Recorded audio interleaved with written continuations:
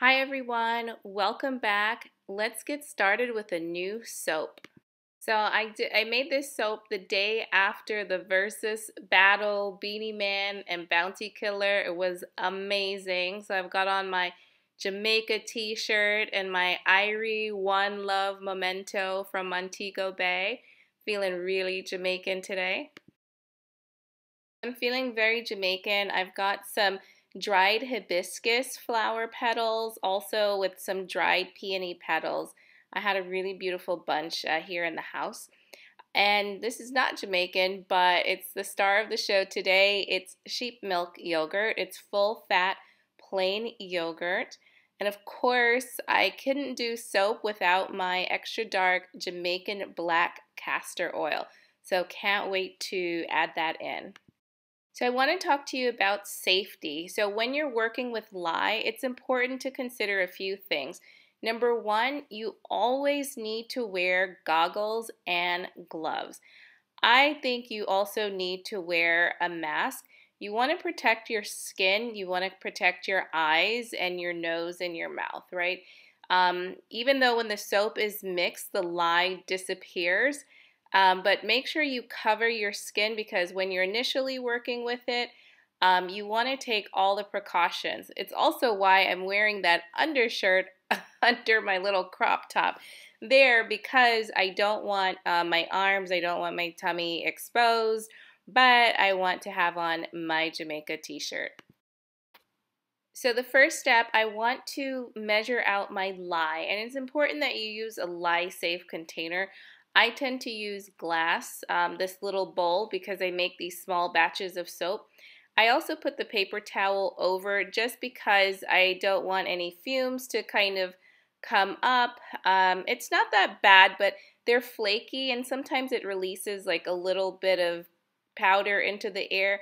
And so I try to just protect myself from that as much as possible. The next step, you want to also get a lye safe container because the reason you can't use any plastic container is because when you mix your lye into your water, and this is very important, you always have to mix your lye into your water. Um, you don't want to do it the other way around. But once that happens, it can get very, very hot, up to maybe like 180 degrees.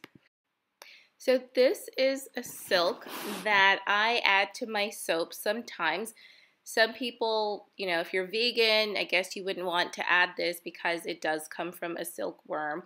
But basically, it will add some creaminess to the bar. It'll also maybe give it a bit of a shinier appearance. So I like to experiment and try, you know, like with or without it, what happens. Now I'm adding sodium lactate. And sodium lactate is helpful to your soap and I'm just adding about two teaspoons for my um, bar, my loaf here, because um, that's what the recipe calls for. You don't need to add too much. Now I'm covering my lye water and I'm getting ready to measure my oils. So the first oil that I'm adding, this is sweet almond oil. It's known for its really conditioning properties. And actually, I think there are about six different oils um, in this recipe. And just remember, you don't have to follow this recipe. You can, you know, create your own. But I actually just wanted to try this. So now here's some olive oil. I got this at Whole Foods. It's just the 365 brand. Um, and as I was pouring it, I was really thinking about like, oh my gosh, maybe I should have made some like shrimp scampi with this olive oil um, instead of this loaf of soap.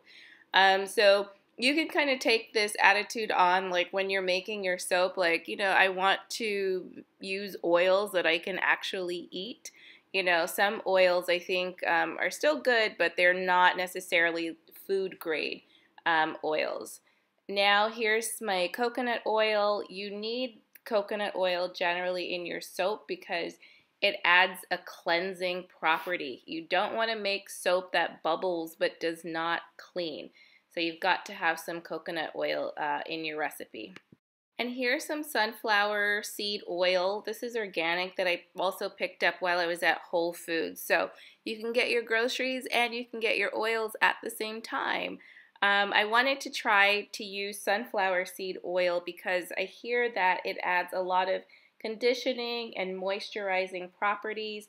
In this soap, it's about 15%. So we'll see how it turns out. I'm really excited. And, you know, I was kind of like, I don't want to say all over the place this time, but um, there's my plastic pitcher that I use for uh, to melt my oil. So I'm going to mix some of my Jamaican black castor oil here. And castor oil is great because, um, you know, it adds a creaminess and also a nice kind of bubbliness to your bar. And then here's some kokum butter. So I'm going to melt the castor oil and the kokum butter together. So in addition to uh, the sodium lactate that adds some hardness uh, to the bar and helps it release from the mold, um, I usually like to add some level of butters like uh, hard butter like kokum, cocoa butter, maybe shea butter, mango butter even, um, to really give the bar a bit more hardness. Okay, now I'm just going to measure out about an ounce of this yogurt.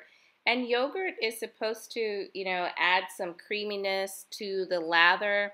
And also, you might see me dancing because I was replaying that whole Bounty Killer Beenie Man uh, sound clash. Um, I absolutely loved it. So if you see me doing a bop in the video, that is why.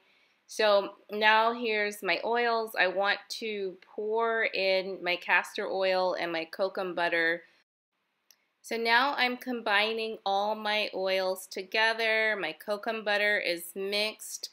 Um, I'm still dancing. I'm still excited. I wish that I could play the music for you in the background, but um, I know that we can't do that. But um, know that I was having a good time making this soap. So I'm popping my oils into the microwave. I'm going to heat them up to about 120 degrees because I want my lye and my oils to be about 120 degrees and that's when I will mix them together. And also I like to clean a little when I make my soap. So I'm putting my lye water into a bit of an ice bath because it's very hot in California and I really wanted it to uh, cool down a bit quicker. So now I'm just doing a little clean up here and I left this in just because I think it's a you know just a good point to note like when you're making soap sometimes and because I do this in my kitchen and I don't have the largest kitchen I like to just sort of clean um, you know throw things away when I need to wash things up when I need to because then when you get down to it um, and you're mixing your soap you're you know, trying to texturize the soap tops, you know, whatever it is you want to do, sprinkle botanicals on it. Um, I don't want to have a, a big mess at the end of uh, my soaping. So yeah, here I am. I'm just putting some things away and I think I'm going to, um, going to tell you the truth half my kitchen I feel like is taken um, up with soap supplies. I think once you get started, it really becomes something that you will probably love to do and want to try lots of different things. So don't mind me. Um, now I've got some apricot kernel oil and and that oil I'm using to just disperse a bit of clay. So I added about, mm, I think, half a teaspoon of clay and um, I like clays too because it's just a little exfoliating, but I really like how they feel on the skin. Um, now, really check your temperatures before you start to mix. And actually, what I realized when I started to mix this was that I wanted to get my strainer because sometimes when you put things in your lye, like for example, such as the silk, uh, it may not fully, fully dissolve, and I don't want to have any like chunks or particles um, you know, in the soap. So I just strain it to be on the safe side. Now with my mixer, I'm giving it a bit of a stir. I'm giving it a couple of blasts and you can see just how quickly um, you know this batch has mixed together And it's kind of, it, it was actually really nice because this was a very smooth, creamy feeling batch. And I've just gone to what they call trace. And so now I want to add my clay. I'm going to add my fragrance oil in which I have a little chamomile essential oil and a little uh, of another fragrance. I think it's called Scotch Whiskey. It's a very interesting. I love the smell and I just like the hint of uh, chamomile. And you notice now at this point I'm adding uh, my yogurt. I'm going to whisk everything together. And whisking is good because sometimes what happens is if you have a batch where the fragrance makes the batter very thick, I think that happened in my last video.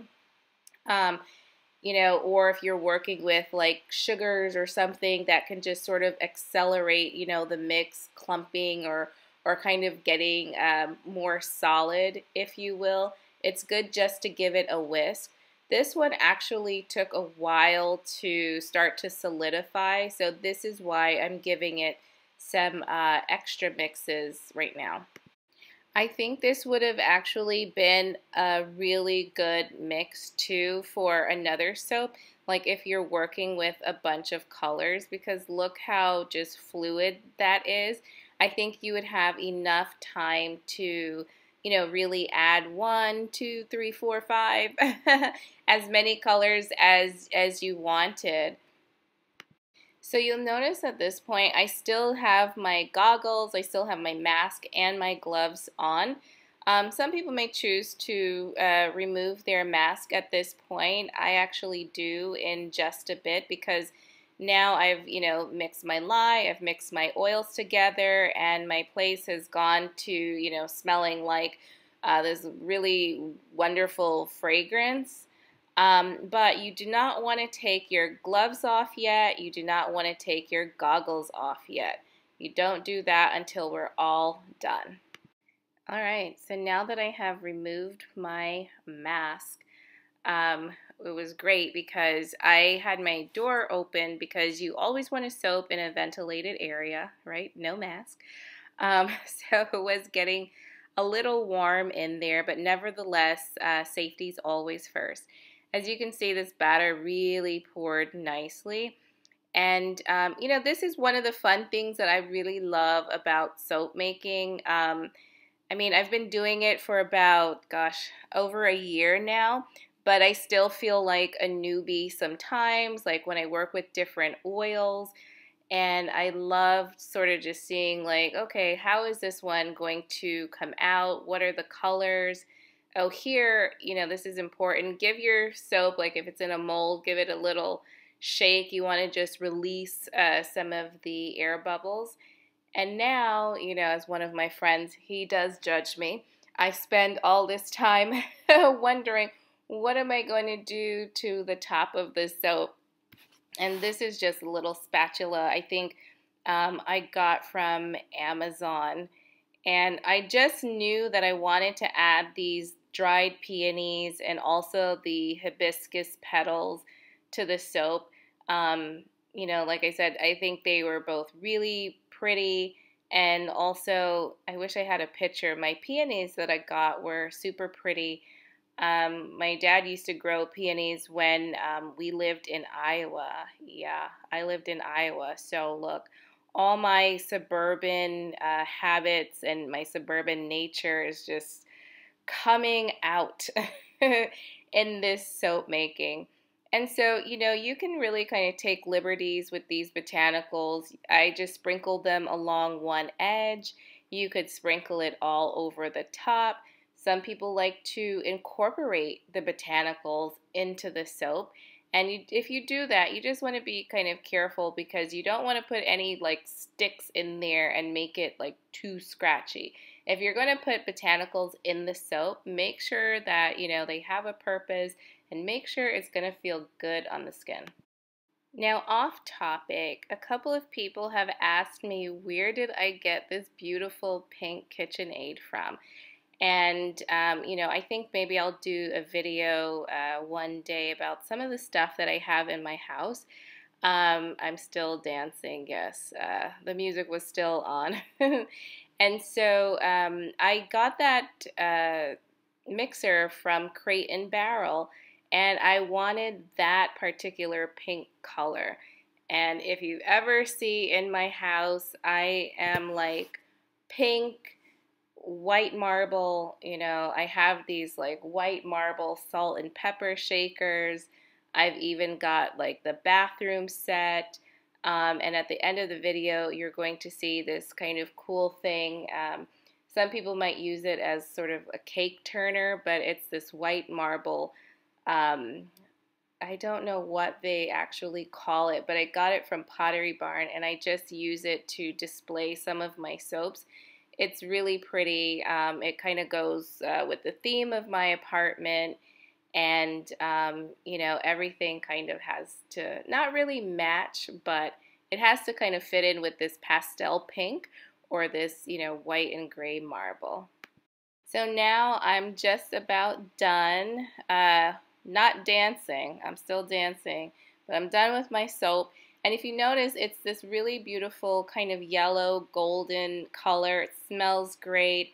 Um, and I put my soap outside to cure but it did go through a bit of a color transformation. Now it is kind of like this, um, I don't know what color this is. It's a brownish color, um, almost kind of reminds me a little bit of bread for some reason.